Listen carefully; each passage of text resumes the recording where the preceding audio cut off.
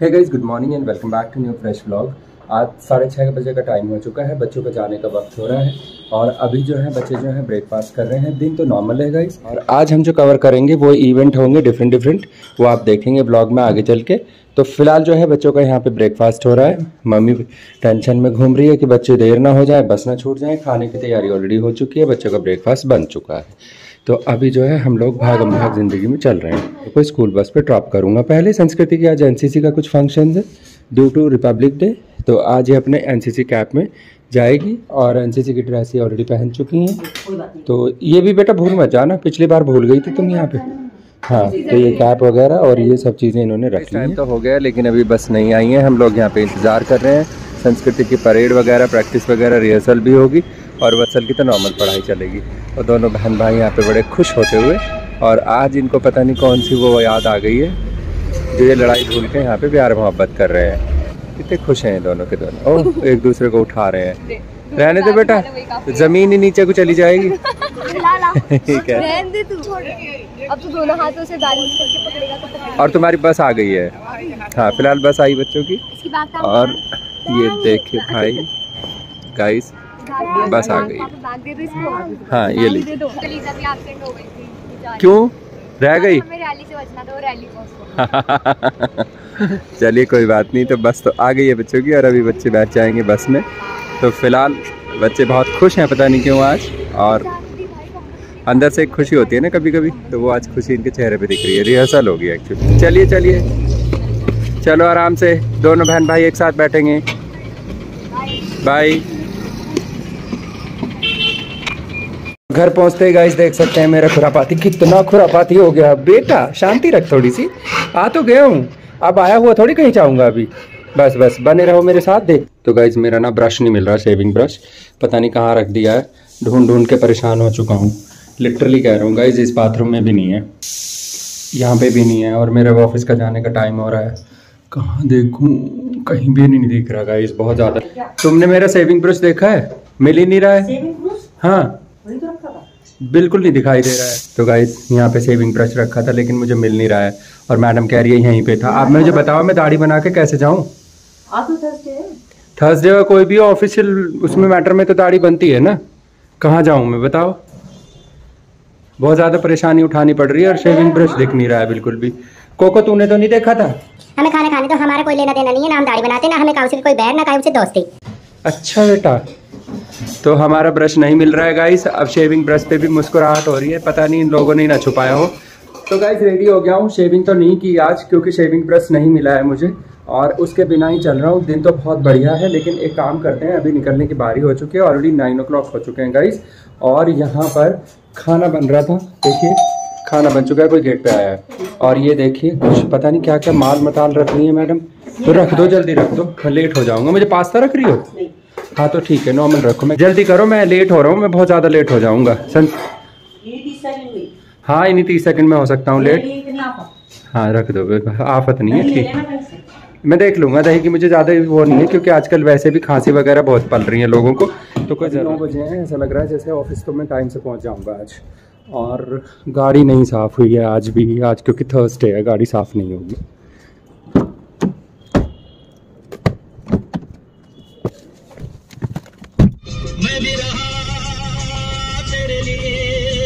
इतना ज़्यादा रश है यहाँ पे। आगे पीछे बहुत ज़्यादा गाड़ियों का ट्रैफ़िक हो चुका है।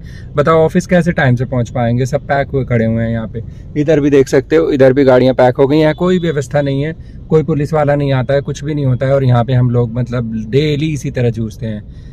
देखो, गाड़ियाँ चल ही रही हैं, चल ही रही हैं। बस चलती रहेंगी थोड़ी देर। और चलें भैया, पता नहीं कहाँ तक। पूरे पुल पे गाड़ियाँ खड़ी हुई हैं और हम यहाँ लोग ऑफ़िस के लिए तरस रहे हैं। जल्दी निकलो तो प्रॉब्लम ना निकलो तो तो गई साढ़े दस बज चुके हैं ऑफ़िस से आया हूँ और आने के बाद भी मेरी मतलब मैं आज मीटिंग थी तो इसलिए थोड़ा लेट हुआ हूँ। जनरली तो मैं जल्दी आ जाता हूँ। आज मैं थोड़ा लेट हुआ हूँ। यहाँ पे देखिए संस्कृति आज कैसा था स्कूल बेटा? स्कूल जैसा ही था। मतलब कैसा रहा? रैली हुई थी।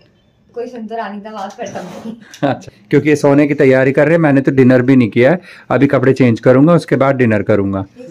ठीक है मैडम ने आज इतने कपड़े वॉश करे हैं सारे क्लॉथ फोल्डिंग में लगी रही हैं ये। और दो तीन दिन दो तीन दिन के कपड़े हैं? तो बहुत ज़्यादा कपड़े हैं। और ये देख लीजिए ये सैंडी का दीवाना यहाँ बैठा हुआ है। सैंडी का इंतज़ार कर रहा है। कहाँ है सैंडी तेरी? बहुत भौंक रहा है?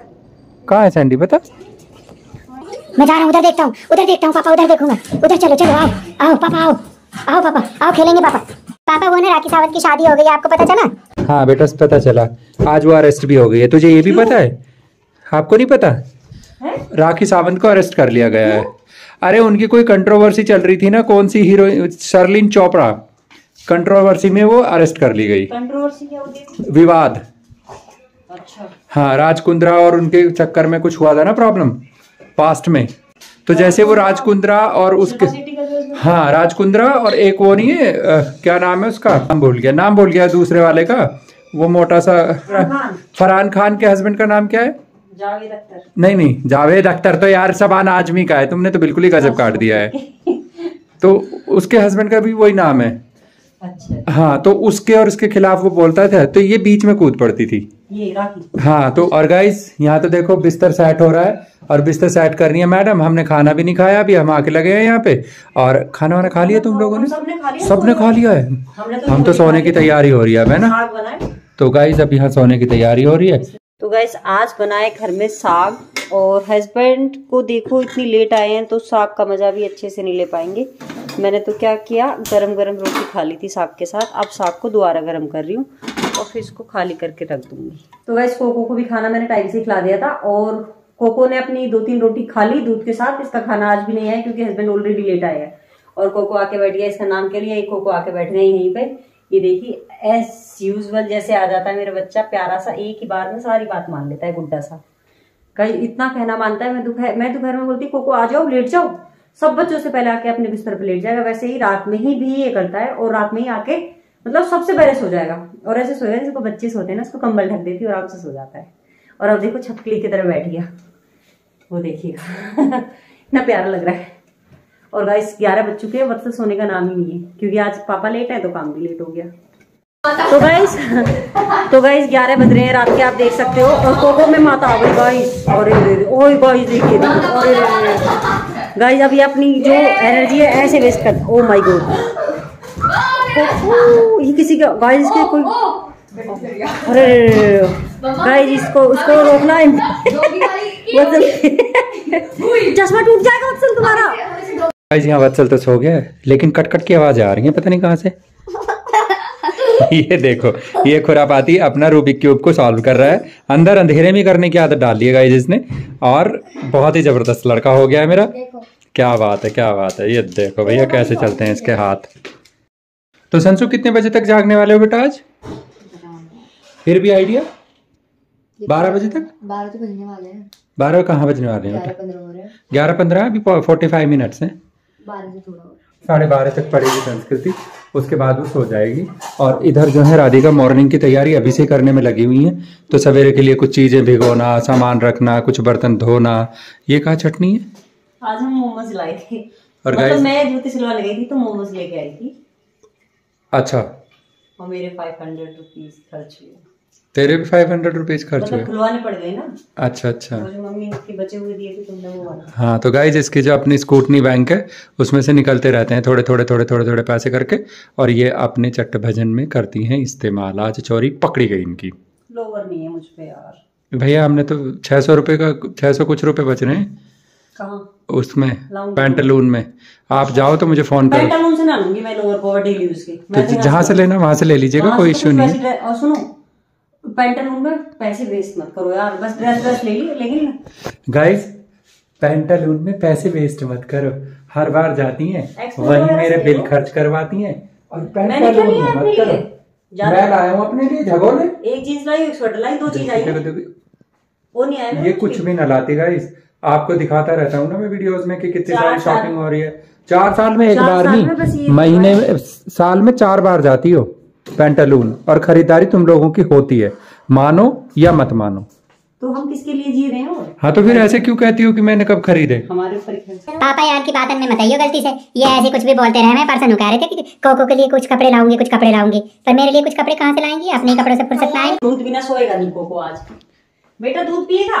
हाँ दूध के लिए तो बैठा है बंदा। मौको मत दीजिए दूध सारी दुनिया को दे दो। देख कैसे चली गई मौको छोड़ के यहाँ पे। मम्मी जल्दी दे दो हुड़क आ रही है हुड़क। दूध बचा थोड़ा सा।